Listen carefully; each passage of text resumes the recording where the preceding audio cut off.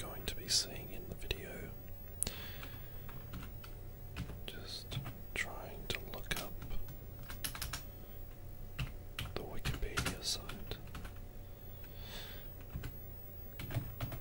It's basically like the Eiffel Tower. And um, I don't know. Well, I'll just get back to the start. And I'm going to be eating popcorn in this video as well. So I went to Tokyo back in November of 2008, and um, you can see they've already got the Christmas. Well, they've got the Christmas decorations up.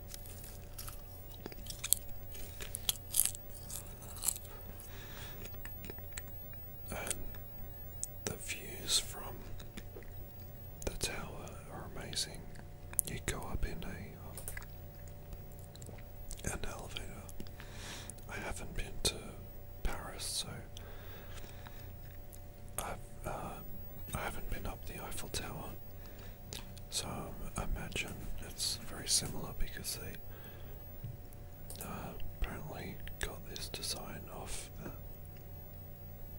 the, Fr the French one. Uh, so let's see. A large broadcasting tower was needed. Um, so it's a broadcasting tower. Uh, he originally wanted it to be taller than the Empire State Building, which was the highest structure in the world at that time. So he based his design on the Eiffel Tower. I guess at, at night it looks a lot similar.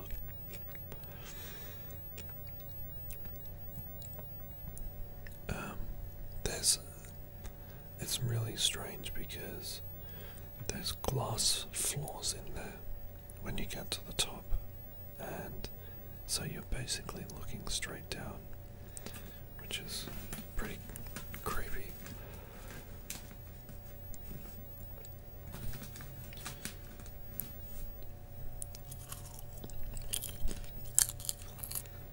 And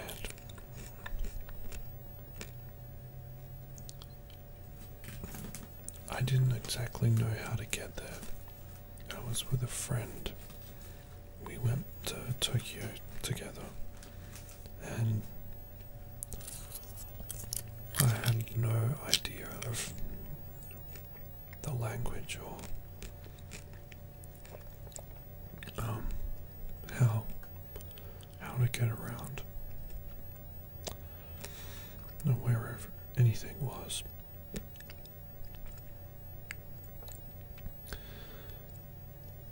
It's um yeah very beautiful at night. It's been featured in a lot of Japanese films um, and anime as well, like um, well, Death Note.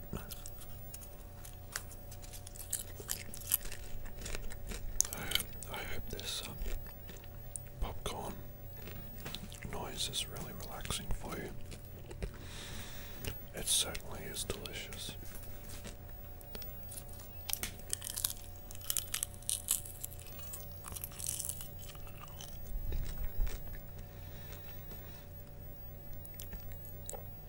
You can basically see all of Tokyo up there. And um, Shiba, uh, I, I can't even tell you where. Like Japan is such a, a nightmare of a place to. If you don't know the language, it is so difficult to get around, and it it's lucky I had a friend. Um, he had been there before, and he he could see where things were. I'm usually good at maps, but you know this was just gobbledygook to me. I think you can see the, the Akihabara from there. That's uh, electronics district. I'm assuming that's what it was. All those lights there.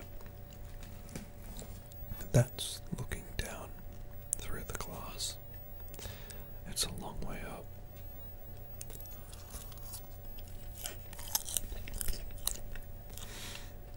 Towards that that bridge is um, there's a Ferris wheel and other beautiful things. There's a lot of um, TV studios around there. So the reason I went to Tokyo, I, I just said to my friend, um, he wanted to go overseas, and I said, "Oh, can I come along?" And I said, "Well, you've been to Tokyo before. Is it a crazy place to go to?" And he said, "Yeah, very crazy. See the most weirdest things, but the people are so nice." And friendly and accommodating. Everyone is very polite.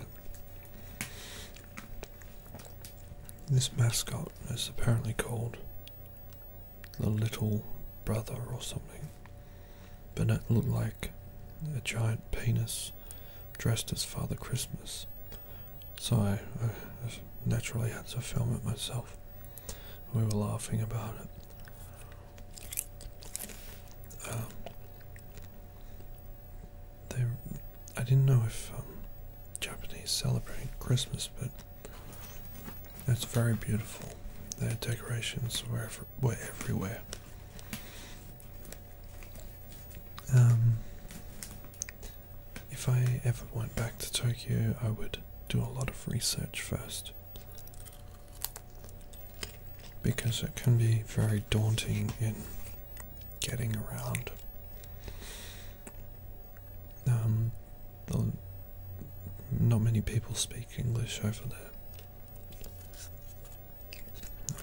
And since, ever since I went there, I've stuck to mainly English-speaking countries. And yeah, just because of the hassle, like you're you're in another country to begin with. It's like an alien world, and you're out of your comfort zone, and you're trying to enjoy yourself, but you just don't know the the the language at all, so you can't communicate with anyone. All I had was my friend, and then he started to get on my nerves. So um, by the end of it, I couldn't wait to get home. But there are some very beautiful things in Japan, and this was one of them. I I think it's much better going at night than daytime. Just because the the lights that um, are everywhere, and the, the city comes alive. It's actually pretty big.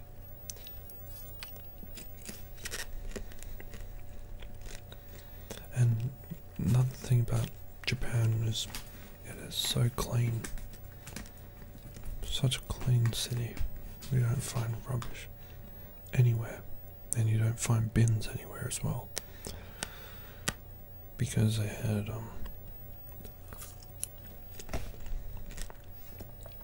a terrorist attack or something. I don't know. But there were not many bins around.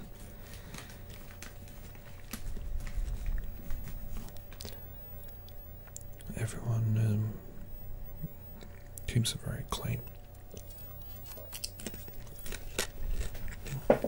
Um, I'll tell you about the capsule hotels another another time. I've got plenty more footage of Japan to go through, so I hope this was relaxing for you. And um, the popcorn is certainly delicious.